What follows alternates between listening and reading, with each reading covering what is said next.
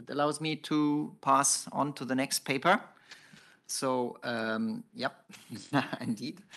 So the speaker is going to be Anatoli Segura from Banca d'Italia, and we're turning to the cross-border banking and the ring-fencing. And uh, it's very nice to see that this is a paper that, not for you this time, you have exceeded that age, but was sponsored by us for under the Lamfalussy Fellowship Program for your young co-author, um, Jing Zeng. That's very nice to see the success of this paper. Floor is yours.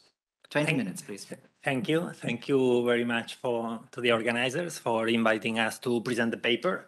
We are particularly delighted to present the paper in in this institution, in this Eurotower, as opposed to the other big tower. And as for reasons that will become apparent uh, from the very first slide.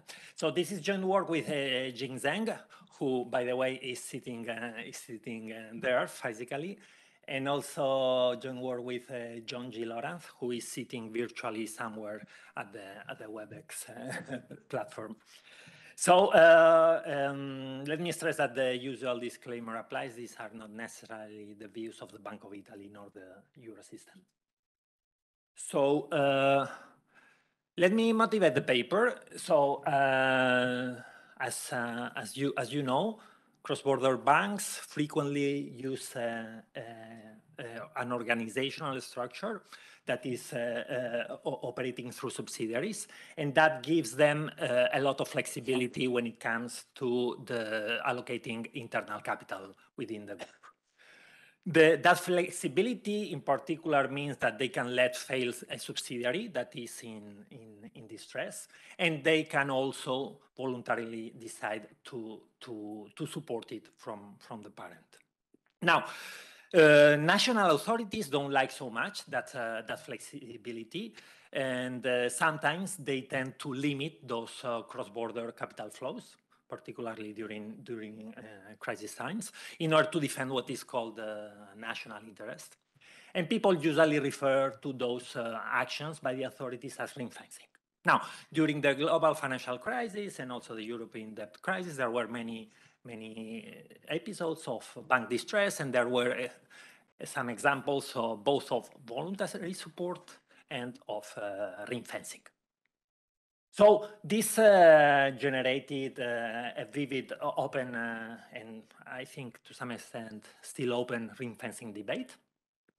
And basically, the the overall idea is that ring-fencing somehow constrains the efficient capital allocation within a group and tends to to lead to some suboptimal resolution of banking crisis.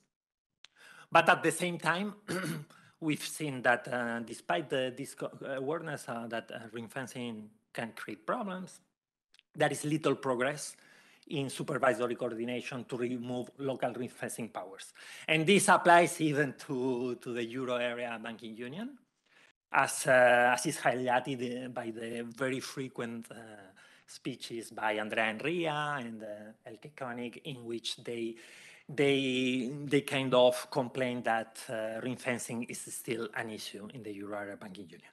So, given this this motivation, what this theory paper uh, tries to answer is the, the following questions. So, we want to understand when when does ring-fencing arise. Uh, what uh, our answer, and something very important we are going to to be emphasizing, and uh, it's not very surprising, but we think it has been somewhat overlooked by the policy debate and also the literature, is that correlation between the assets of the cross-border bank units is, is very important. What we find is that for large correlation and under national authorities, there is going to be ring-fencing when uh, uh, a cross-border bank is in distress.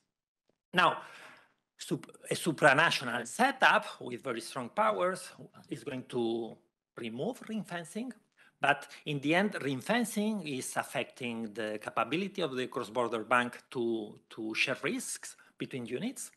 So affecting that uh, those uh, risk-sharing possibilities uh, through the supervisory setup is going also to have an effect on the cross-border bank risk-taking. So our answer, so we, we, we ask ourselves what is the effect of different choices of supervisory setup on cross-border bank risk-taking? And our answer is that it depends, and we will emphasize different channels. And finally, all, all this uh, to get to the to the final and more important question is when is a supranational authority beneficial from a welfare perspective?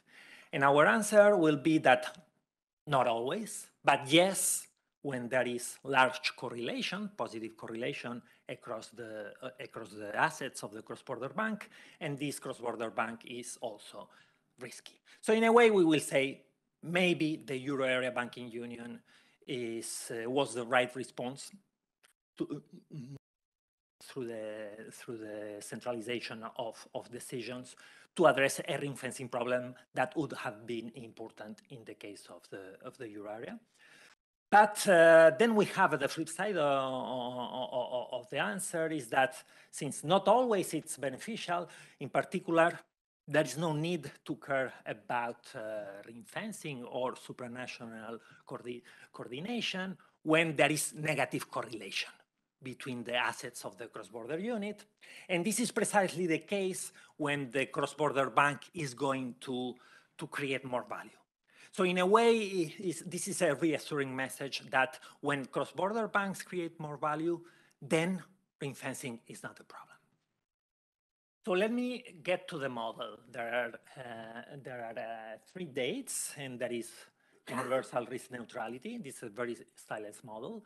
And there is a cross-border bank, and there are some authorities, supervisory resolution authorities. The cross-border bank has uh, two subsidiaries located in two countries, and each unit has a, a risky asset and, that, and, some deposits that are uh, insured by a national uh, deposit insurance fund. And the structure of the bank is, is a pure bank holding structure. So there you have a, a pure bank holding company and two to subsidiaries, and the, uh, the bank holding company holds the equity of the group. Now, the assets of the, of the bank, they have some payoffs, an interim payoff that is riskless at equal one, which is a small r, and a risky payoff at the final date, which is capital R in case of success and zero in case of failure. And now, the success pro probability as of t equal one can be high. In, in that case, we say the, the, the unit is healthy and or can be low, in which case we say that the unit is uh, impaired. Now, as I said, correlation across the units is important. It is captured in the model by the correlation parameter rho, that it captures both the correlation at equal one and the correlation at equal two.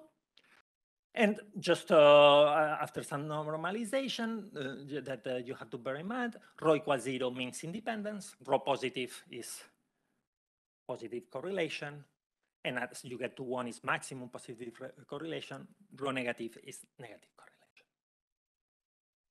So now uh, let's start with the interim date, and let us uh, think about what national supervision is. So what, what, the way we model national supervision is where we say there is one national authority that cares about each, each unit, and that at the interim date can intervene in order to minimize the own deposit insurance costs.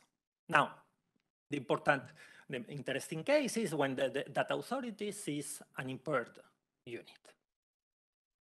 And she can take uh, some sort of early intervention that we call liquidation, but it's not necessarily that.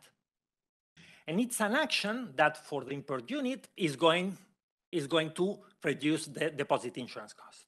So these are the deposit insurance costs in case of, of early intervention on an import unit, and this would be the deposit insurance costs in case of no intervention, where you see the probability of default and the losses given default, because these losses are costs for the deposit insurance fund. Now, what we assume is that the early liquidation or early intervention reduces deposit insurance cost. So this authority would like to intervene. Intervention destroys some asset value. So it is something the, from a welfare uh, uh, perspective and also from the perspective of the bank, she, uh, the bank is not going to like. So what the bank can do is, in order to avoid the, the, the liquidation of the impaired unit, is to recapitalize it. And, uh, and there are two ways of recapitalizing the unit, either with some issuance of, um, of equity, external equity, that is costly, both privately and, and socially, or with, some, with what we call the internal capital market, from which is uh, uh, or support from the in case the other unit is healthy. Basically, the, the other unit can inject some some funds in uh, in the form of of an intra-group loan. Now, the, the bank is going to prefer cross-unit support in order to save on the external cost of capital. But there is the other authority, the authority that is responsible for the healthy unit, that might not like that uh, transfers of, of, resources from the healthy unit to the to the to the impaired unit. And in case in case she introduces some limits to to to the support, we will refer to as uh, ring fencing action. So in terms of modeling, how we are modeling the, the, this game between the bank and the two authorities, we in, in the interesting case in which one unit B is impaired and the other is, is healthy. So the, the cross-border bank is going to propose a recapitalization plan that consists of how many units X of external capital are going to be raised and injected in the impaired unit and uh, also the, the cross-unit uh, support, which is uh, a loan, a transfer small s of units from the healthy to the, to the impaired unit against of a junior promise capital S at the final date. Now, each authority says, yes, I agree, going forward or not. And if there is unanimous uh, approval, the plan, the recapitalization plan is undertaken. Otherwise, there is the liquidation of the impaired unit. So now let, let us look at the approval decision given a recapitalization plan. So now the, the authority responsible for the impaired unit is going to say, okay, if the plan is not approved, I am going to, to liquidate. This will be my cost of liquidation. If the plan is approved, this will be the expected cost. There will uh, be default today, but with some probability there will be default tomorrow. The injection of capital, both external and internal capital, is going to reduce those costs for the expected the, the, for the deposit cost. So if the eh, if the injection of capital is sufficiently large, no matter whether external or internal, that authority will say, yes, I agree. Now let us look at the at the other authority, the authority of the responsible for the healthy unit. And here and everywhere in the paper, what is blue, in blue, uh, we, we, we, highlight things that are good from the perspective of who is taking the decision, and in red, things that are not so liked. And what you see, again, that authority is going to look at the deposit insurance costs under no recapitalization and deposit insurance costs in its own country under recapitalization. And the, the authority responsible for the healthy unit dis dislikes the injection of funds from the healthy to the to the to the um, to the impaired unit. This is because in case of default tomorrow of the healthy unit, which can happen, there will be less resources in order to repay deposits.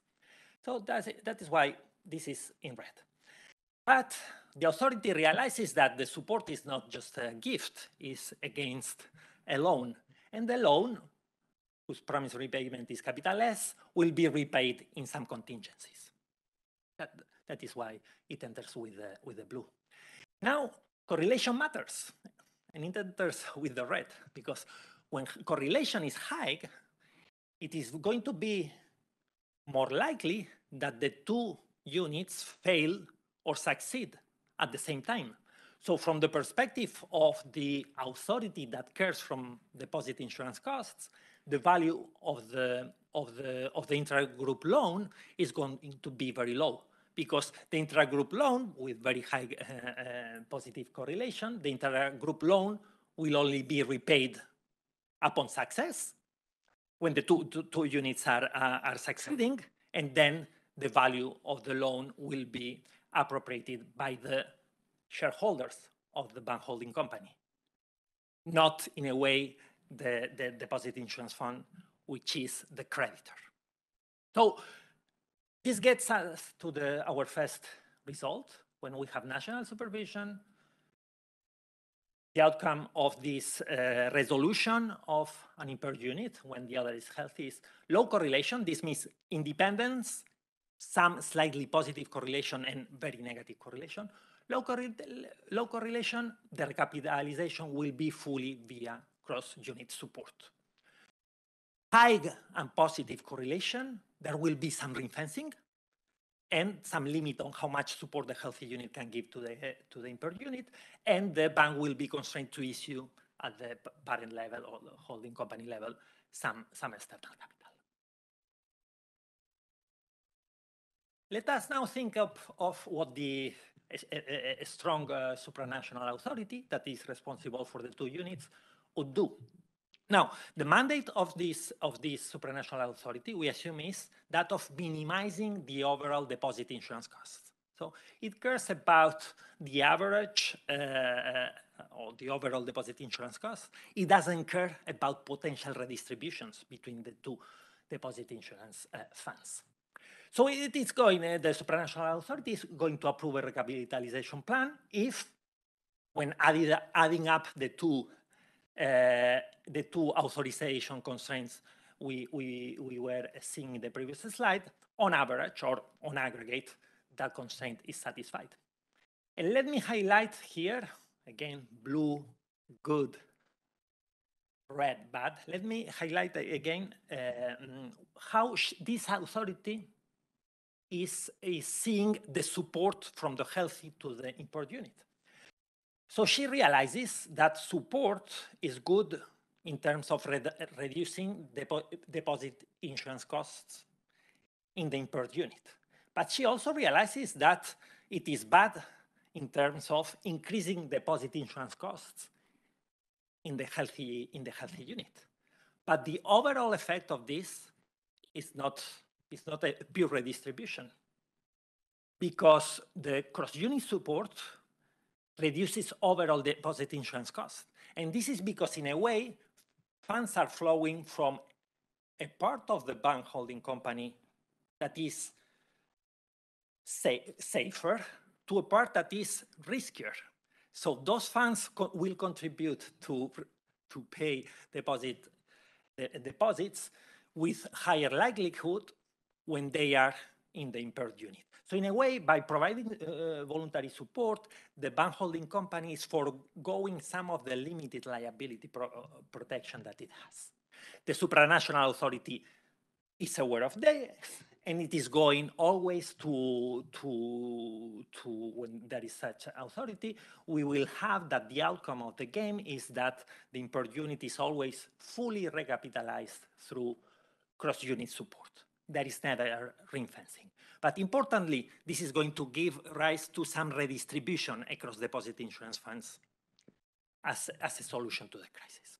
Now, for low correlation, national and supranational uh, uh, supervision is the same because there is no ring fencing, but for high and positive correlation, the outcomes are different.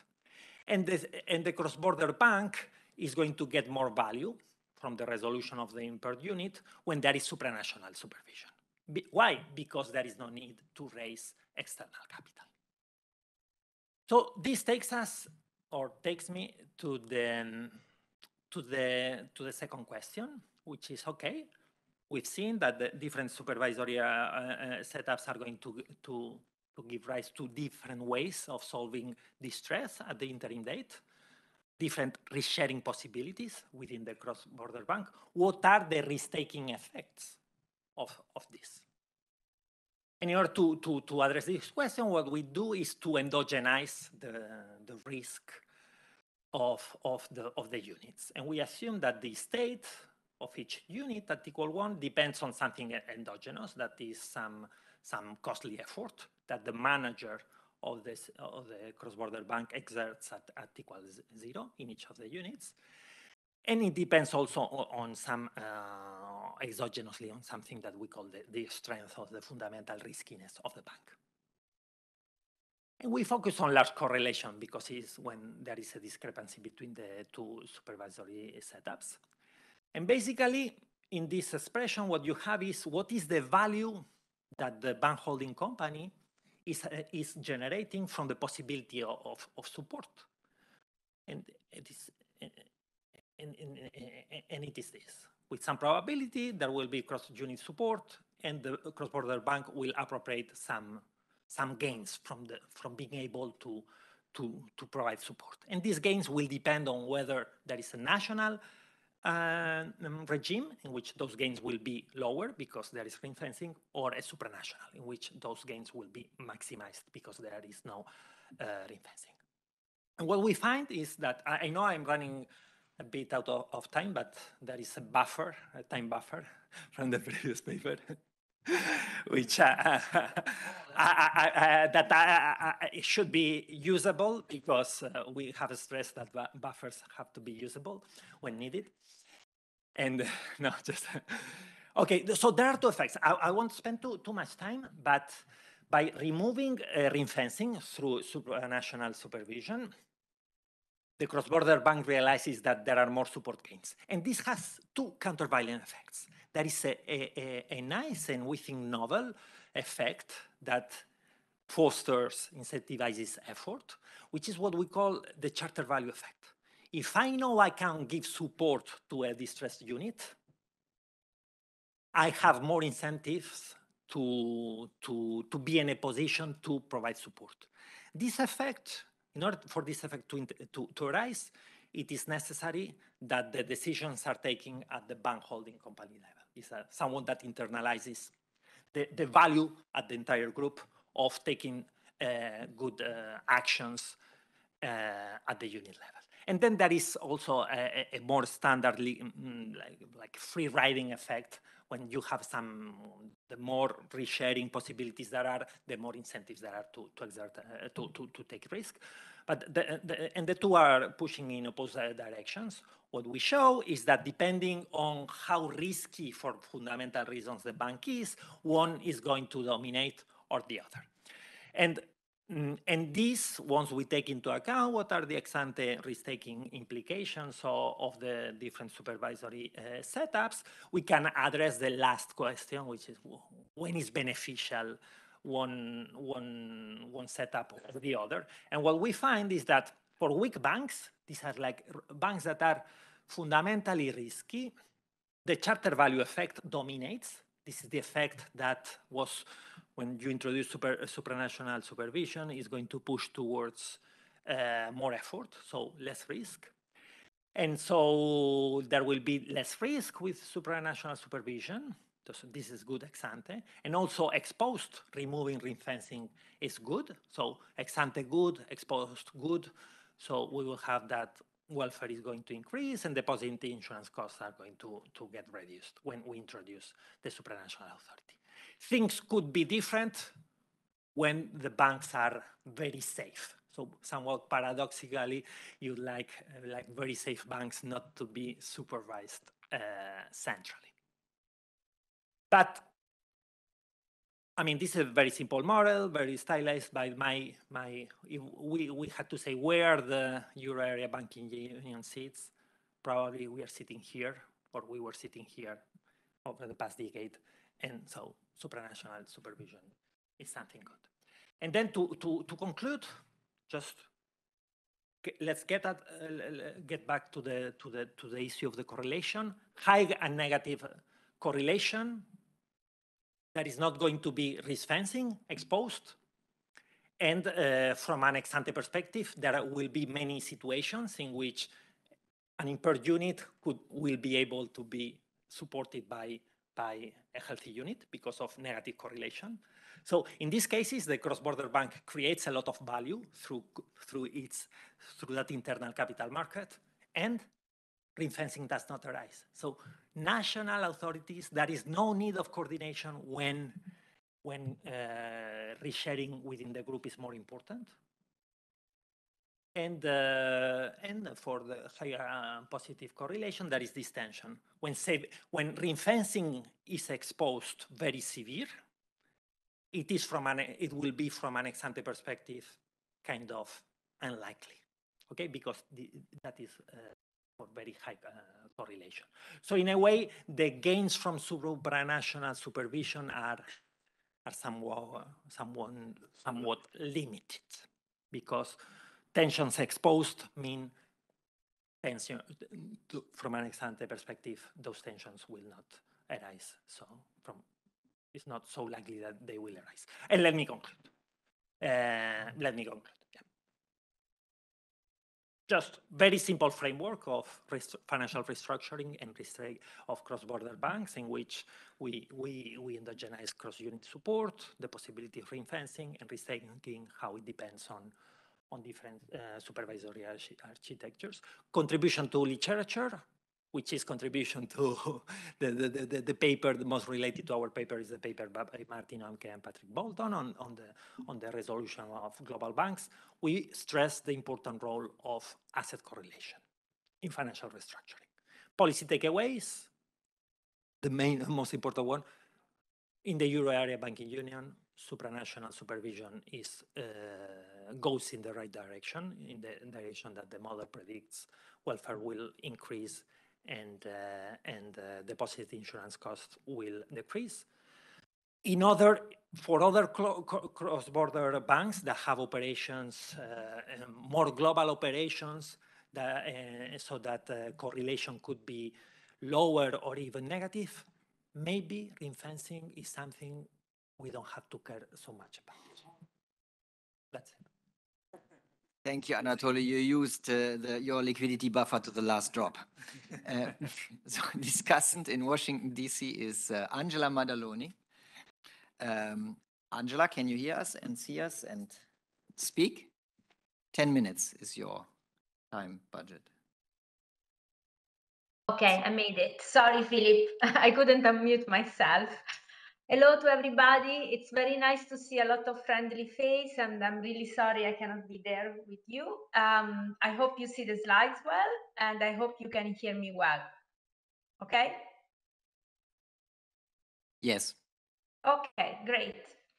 So, um, I mean, uh, of course, the usual disclaimer apply uh, because, I mean, we all work in, uh, in policy institution.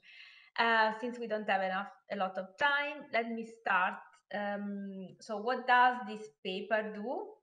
Um, well, they provide a framework uh, to analyze basically uh, different uh, supervisory uh, architecture. And it is important that this framework, to emphasize that this framework compares national supervision and um, supranational supervision in a very focused dimension, which is when considering intervention in cross-border banks. I mean, as Anatoli very well explained, I mean, there is there are cross-border banks, there are subsidiary into different countries.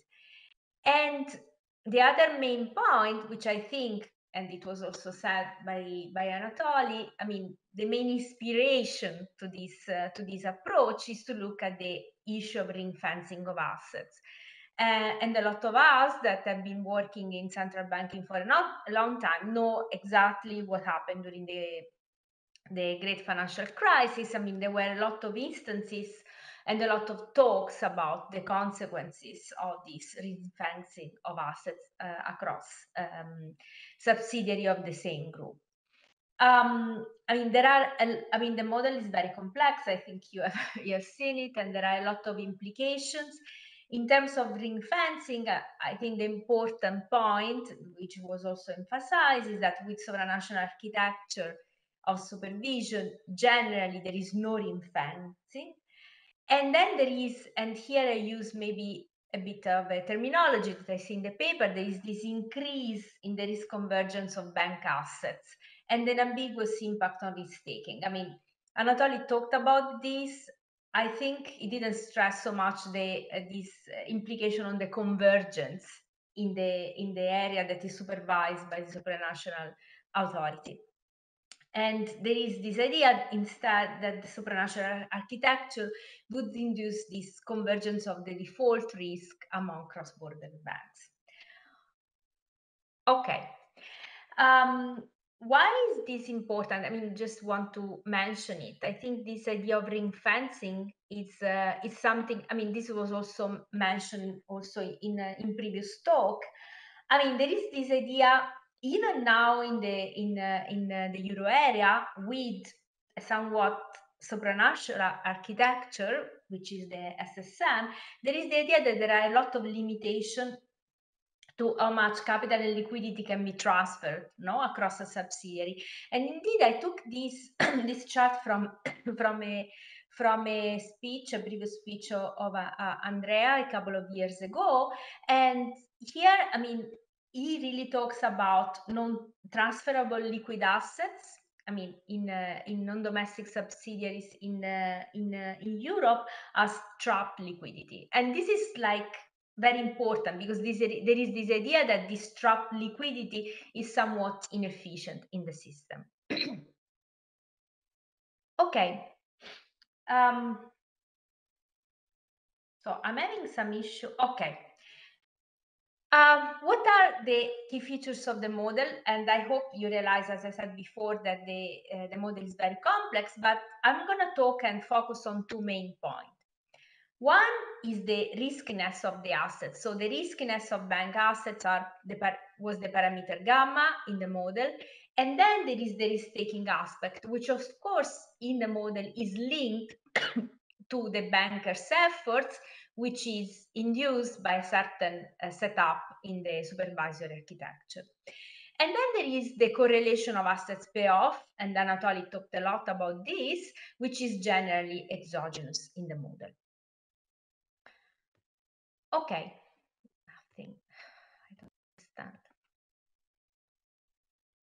I want to say that um, these models provide a framework to analyze the implication of different uh, supervisory architecture in a context, in a very specific context, which is a context of recapitalization and resolution. So resolution is not mentioned so much in the in the in the paper, but at the end, I mean, if there is no recapitalization, banks are resolved, and this is why all the implications are actually linked to, of course, the existence of the um, national deposit insurance. However, I was thinking that I mean, supranational supervision has a lot of other dimensions it is not only this dimension that uh, basically is important when there are decisions of recapitalization to be taken. And I think this model, and this is not a, a critique, it's just a, a, a, fact that does not provide insights about the role of supranational supervision, especially uh, in, uh, in, a, in, in, in, as an institution to increase resilience ex ante. And this is then I went to why the SSM was established a bit uh, in the euro area. And just to be clear, I mean, the three reasons why it was established, I copied and pasted from the website of the SSM, is the objective of the SSM are ensure the safety and soundness of the European banking system, increase financial integration stability, and ensure consistent supervision. So you can see there is a lot of emphasis on the ex ante risk taking and resilience of ensuring the resilience of the financial uh, the banking sector before. And this is something that i mean i think the way the setup of this model cannot really tell us much okay? This is important to uh, uh, take into account. Now let me talk about the risk taking aspect now um, as Anatoli explained of course there is this sort of ambiguous effect of supranational supervision on uh, risk-taking aspect.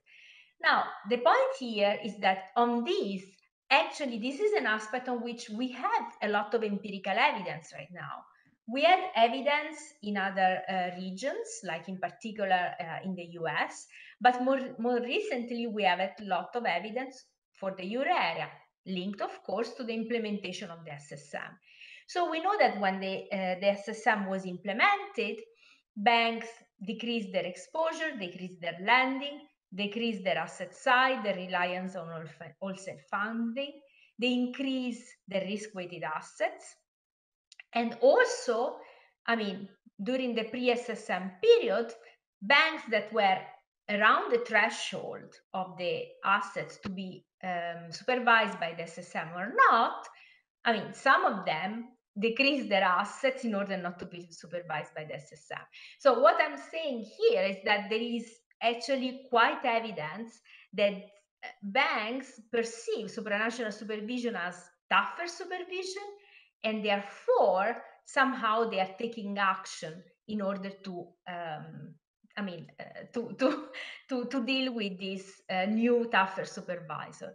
Um, I'm also mentioning here some new work in progress that I'm doing, which is related to the TRIM, which is the internal review of, uh, sorry, the, the SSM review of the internal model that was done a couple of years ago. And here again, the announcement of the review I mean, we find that banks increase the risk weighting of the riskier exposure, lend to safer borrower, and recover more from defaulting entities. So overall, I think there is quite some evidence that supervisory, I mean, supranational architecture is linked to a general decrease in the risk of the asset, which of course is a bit uh, difficult to square with whatever you have in the paper. I mean, this is a point that I wanted to make. The second point that I wanted to make is uh, the implication on pay, payoff correlation, because as you said, I mean, this is a key parameter of the model, the correlations of the payoff. And when the national supervisors, uh, sorry, national supervision and supranational supervision is more or less uh, efficient or, uh, or optimal is linked to the correlation of the assets. And uh, uh, okay, here uh, you said it only uh, at the end, but I think you mentioned these results, which in a way really struck me. Um, in general, if the correlation is high, I mean, this is the, my, my second point. These are the results results from the from the paper. Supranational architecture maximize aggregate welfare. Okay. However, these welfare gain are hump-shaped in asset correlation and they are limited. And Anatoli mentioned this at the end of his presentation. And something that really struck me is that in the paper, uh, they write, the authors write, so avoiding ring, ring fencing does not per se justify supranational supervision. So the idea is if we just have in mind to avoid ring fencing, maybe we should consider that there are limits to the uh, benefits arising from supranational supervision.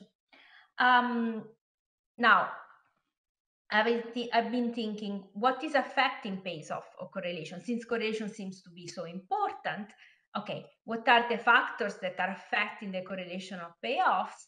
And I've been thinking that definitely convergence of supervisory criteria, increase in integration of banking market, increase in possible M&A cross-border, of course, are all factors that are likely to affect the uh, correlation of payoffs of assets uh, of banks uh, in different areas. Um, now, let me skip here. Um, Europe banking markets remain very segmented. I mean, these are charts that I took from the uh, latest financial integration report. And also, as was mentioned also before, I mean, there is this general call from policymakers to try to achieve, to increase uh, integration in banking market. Um, so there is a general call to remove barriers, legal and prudential, that creates obstacle to the uh, to the freedom of uh, movement of capital and liquidity within banking group. And also there are general call to increase standardization and the consistent implementation of regulatory standards.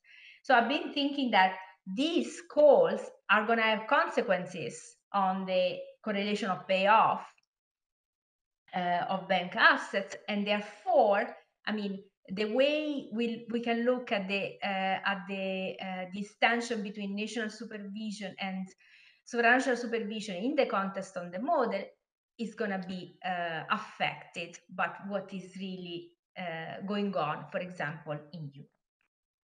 Okay, um, so I've discussed basically these two aspects, which I think are uh, particularly important: the risk of the risk of the asset and the correlation of payoff.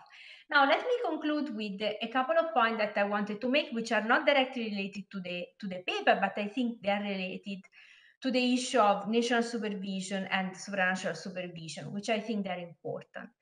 So the first one, which is that, um, as I said before, there are a lot of other dimensions to supranational supervision, which are not taking into account because the model looks at a very specific dimension. And one thing that I was thinking is actually important also in the current con- uh, environment that we are now living through, I would say, is that supranational supervision may make it easier to assess the interaction and spillover between regulatory policy and other macroeconomic policies. And this is not something that is just conceptual. This is something that, for example, happened during the um, the COVID nineteen pandemic. Okay, that said, it was like crisis management mode, but I mean, but Angela, we need slowly to conclude because there's Yes, another yes, 40 I'm, I'm concluding. I'm just have two points. So uh, we have taken unprecedented supervisory decision quickly in close coordination with monetary policy measures. That was said by Andrea uh, in a, in a previous speech. And this is, as I said, seems to me very relevant also in the current financial and economic environment. And the last point that I want to make, and in this I close the circle and I go back to the ring fencing.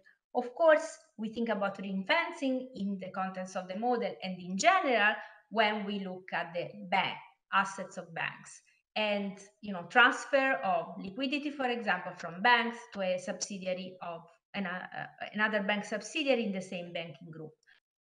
However, I think maybe we should start thinking more in the future what we think about ring fencing of assets um, when we consider the possibility of transfer to other non-bank intermediary in the same group. Because there could be instances in which you know it may be optimal from a financial stability point of view the transfer of certain assets of liquidity to support other non-bank intermediaries but may this may of course be uh, not something that is not allowed by uh, supervisors in general okay so very interesting paper a lot of food for thought and with that i conclude thank you very much Thank you. The floor is open again. David. Please uh, use the previous practice to still introduce yourself. Yes, uh, Dawid Żochowski from the European Central Bank. Thank you very much. Very interesting paper and the discussion. I have uh, one comment and a question. Uh, so the- the comment would be on the interpretation of the payoff rates and the co- increased correlation. When you presented the paper, I was thinking that it might be during the systemic crisis that uh, you know payoff uh, rates tend to correlate more. And I think this is exactly the periods when um, ring fencing arrangements are more likely to appear, right? Uh, and, and now I, th- I think about Vienna initiatives when you wanted to break break those uh, ring fencing arrangements. Uh, so, so that's I think a nice interpretation uh, to to this uh, uh, extended correlations during systemic crisis. Now the question is um, also Andrea showed that uh, Angela sorry showed that one of the reasons to, to set up the, the SSM was, was uh, a possibility of, of further financial integration. But still, in spite of the common supervision framework, in spite of the common resolution framework and, and common deposit insurance framework, we have barely seen over the last couple of years cross-border mergers or acquisitions. So how does it square? Can you shed some light on this through the lenses of your model? And if not, maybe you can try to ask those questions uh, via your model. Thank you. Thank you. Diana, and then there was a third question in the back. So, An- Anatoli, so you. Oh. You wanna go? Uh, so, so in the paper you have uh, either a national uh, supervisory authority that minimizes the national cost of deposit insurance, or a supranational one that minimizes the overall cost of deposit insurance. But in the euro area, we still do not have the complete banking union, right, with common deposit insurance. So, what, what is the objective function of, of the supranational authority in that setting? I, I jumped a question from the right there, so maybe we go zigzag to the left afterwards. Daniel Gluch, European Central Bank. Supervisory arm. So a very practical question. Uh, do you, linking to also to the previous paper on, on cyber risk, do you think incidents such as those that we have been uh, uh, uh, seeing in the cyber risk paper, so sudden liquidity shock due to uh, infrastructure uh, unavailability or any other such shocks that we see now, for example, the, in, in the Silicon Valley Bank, the Twitter bank runs, as they call them. So depositors withdrawing deposits much more quickly due to panic in, involving social media. Are those elements something that somehow uh, makes the discussion about the rem- removal of ring fencing a bit more relevant and a bit more uh, calling for action? Thanks a lot. That's the last question in the back there. Hi, Giovanni Bassani from DSSM. Um, you seem to pay a lot of um, attention. I mean, you, you not to seem to pay. You pay surely a lot of attention to this change in supranational supervision, but uh, the issue here, I think, that unfortunately, in parallel, uh, regulation has not changed. So even uh, all this aspect about ring fencing that, uh, again, in Andrea's speech has been um, highlighted uh, several times are not due to the fact whether there is national or supranational supervision, but about the fact that we have a re- regulatory system which is pretty much national based. And that's why we don't basically have um, cross-border integration. Uh, there, there's been some benefits from supranational supervision, but without an attendant change in regulation, we have already an embedded ring fencing in the system for which supervision can do nothing. So, th- thank you very much for, for the ma- many questions. And uh, I will answer uh, selectively. So I will answer what I think is more important and I, I can give uh, an answer to. So uh, mm, in the model, the supranational authority has a lot of powers and has all the powers or many of the powers Andrea Enria complains about the SSM or the Euro area banking union framework not having. The supranational authority, in a way, can induce redistribution of costs between national uh, deposit insurance funds. This is something I think the single resolution board or cooperating with this, with the SSM in, in solving a cross-border bank will have problems with because of the reasons you were saying in, in the, the current euro area banking union is as opposed to that very stylized uh, setup in the model is incomplete. So the supranational authority in the model is what the euro area banking union may achieve at some point when the three pillars are completed. And um, mm, so this, when it comes to, to the deposit insurance or the lack of completion of the of the banking union, and uh, then when it comes to some people that were saying we don't see that cross-border integration, so maybe the pro, the, the, the, the, the model would tell you because uh, that potential value that cross-border banks would create if the supranational setup the, the, the, the, the uh, institutional setup were truly supranational, with all the three pillars completed, are not still there. So many of the, the, the banks uh, anticipate that there will be frictions, that in the end we are still in a some, some, uh, somehow national setup, and may, part of, the, of those potential uh, gains from cross-border banking cannot be materialized because, among other things, uh, um, ring fencing. Then when it comes to some of the comments by Angela, and um, I think something that is interesting, and it is, uh, and you need a, a, model, and you need a model. You were saying, you were saying the the the the the SSM was going to be was created to be tough, and being tough with banks is something good. Our model says something different.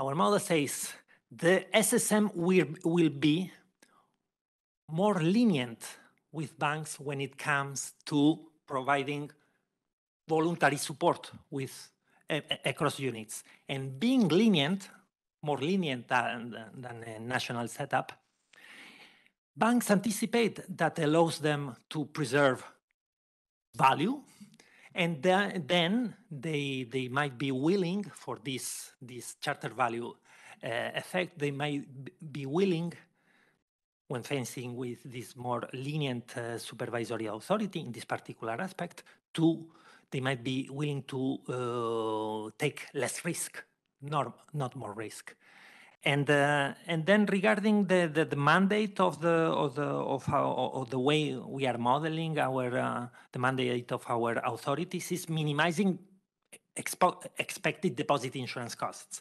So in a way, these authorities dislike financial instability, dislike uh, bank risk, because when there are bank problems, the, this tur- turns out showing up as uh, costs for the deposit insurance. So in a way, I think we are capturing some, in, in, in, in a stylized manner, a very concrete and focused manner, some of the, part of the mandate of the SSM. Thank you very much. Obviously, um, the big elephant in the room is uh, the fiscal arrangement in the in the union. So maybe I wonder whether there's another game going on that deserves its own model where that is actually fully taken into account, where there are spreads that can go up and down and- so on, and change the fiscal position or the starting positions are different. So, so but I'm looking forward to the next step of this research where that that pattern, um, which we all learned over the years, is so important, um, is also is also addressed.